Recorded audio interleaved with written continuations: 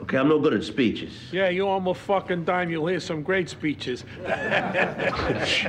Shut up, Your Honor, let me talk. Go ahead, talk. I was only kidding. Go ahead. All right, I'd like everybody to raise their glasses. Talk me into it, yeah.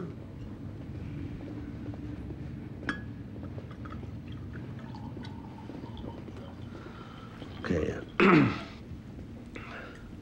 taught me as much as anybody, except for maybe my father. Even if he wasn't my uncle, I'd be standing here saying to our new boss, salute. To Junior. Junior. To Junior. Salute.